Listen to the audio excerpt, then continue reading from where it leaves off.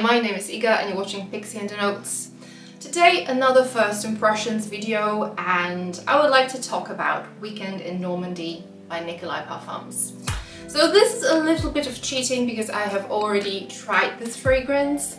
Um, I tested it a few times and I have a little bit of my um, opinion about it. Uh, so it's not like I'm smelling it for the first time today, so that's right. Uh, weekend in Normandy, when I first sprayed it, if I didn't know what it was, I would definitely know that this is Nicolai uh, fragrance. It's unmistakably, the DNA, it's unmistakably recognizable. Um, definitely you can you can feel the citrus and oak moss is is done in a way that Nicolai does it. There's no doubt about it. But what is Weekend in Normandy like? So, I hate aquatics and if you watch me enough you probably know that. But this might be the only fragrance with an aquatic feel that I actually enjoy.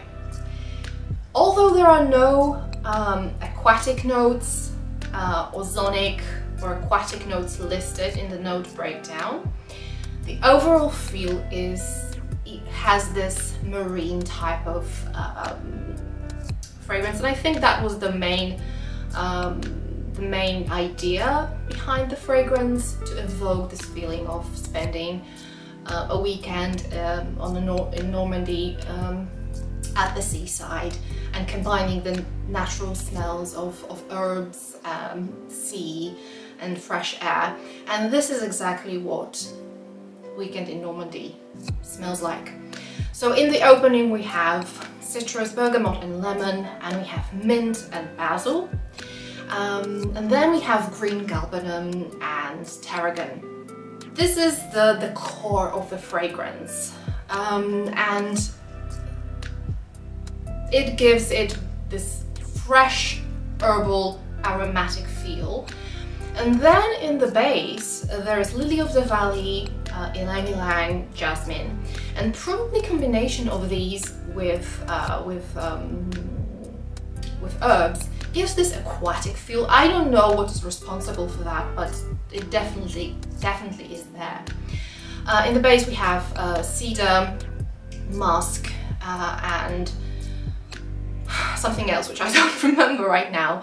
Uh, but overall, it smells very natural, very airy. Um, it's like a perfect outdoors fragrance uh, for a warm or hot day uh, somewhere in nature and preferably at the seaside.